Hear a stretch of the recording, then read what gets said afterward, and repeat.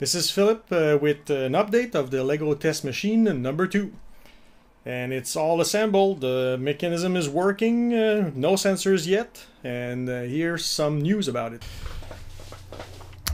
This is the new uh, new iteration, uh, everything's there except the sensors to see if uh, the Lego is either on or off, but all the mechanism is working and I'll show you a demo of this uh, in a second. Um, basically, there's more parts. Uh, I had to make this tower stronger, so there's a brace here, and also I had to put a brace at the bottom because the whole thing was kind of flexing too much. I've added a switch. I don't know if I mentioned it before. So uh, when I power the Arduino, it doesn't just start. There's a uh, uh, just a setup uh, loop, and then I can start or stop the whole thing.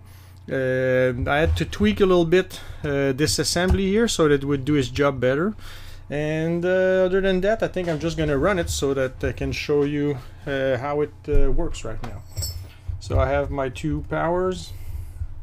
This is a 9 volt and I have a uh, 5 volt.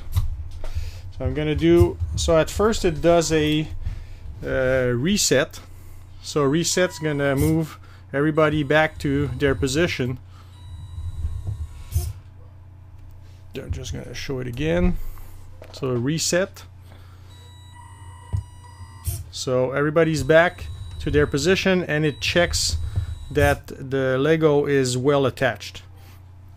So when I start it, the first thing it's going to do is it's going to position like that and remove the Lego. Then it checks that it's off then it's gonna put it back and then it's gonna check that it's on. And uh, that's the whole loop. So remove check that it's off. Assemble and check that it's on. So I'm gonna move the uh, this closer so you can see uh, detail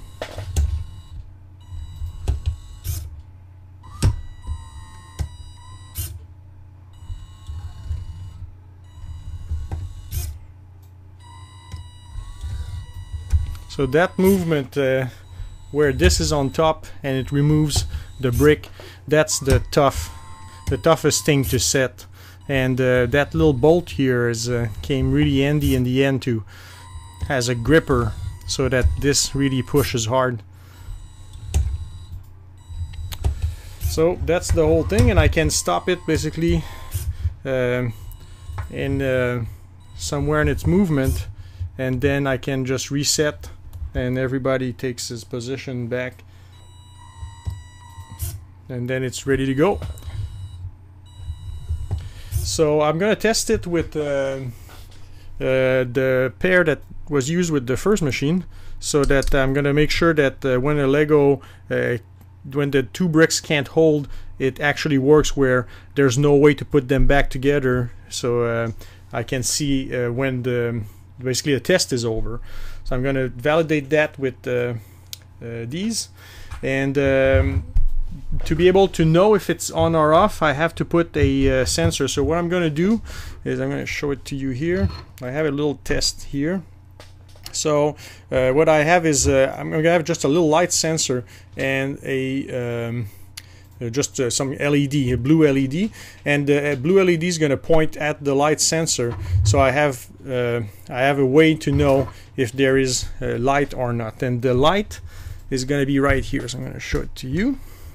So there's holes all over those beams. So I'm what I'm going to do is I'm going to put uh, this little light sensor uh, right into one of the holes, just underneath actually. It's going to be right here underneath the Lego just like that. And the little light is gonna be like somewhere here maybe on the other side so we don't hide the Lego. But uh, the idea is that when it's up uh, the light's gonna go into the hole and uh, then I'm gonna know that the Lego is still attached to the top one. And if it didn't go up with the top one or if it falls it's gonna fall here hopefully and then it's gonna hide the light and then I know that it it did not stay attached and that's how I'm gonna know if it's uh, on or off. So that's it. And um, now I'm gonna do the sensor part and uh, do some testing